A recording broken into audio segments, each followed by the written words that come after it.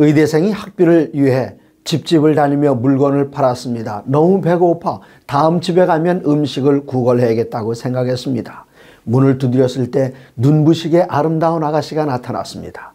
음식을 달라고는 못하고 목이 마르다고 했습니다. 상황을 눈치챈 아가씨는 우유 한 병을 주었습니다.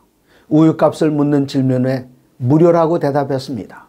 여러 해 후에 아가씨는 위중한 질병에 걸렸고 동네 의사들은 큰 병원으로 보냈습니다. 해당 질병의 전문가가 한눈에 그 아가씨를 알아보고 치료해 줬습니다.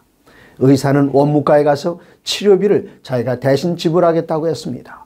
평생 갚아도 못 갚으리라고 생각했던 아가씨는 청구서를 보고 깜짝 놀랐습니다. 우유 한 병으로 계산되었음. 존스 홉킨스를 세운 4명의 의사 가운데 하나인 하워드 켈러 박사의 이야기입니다.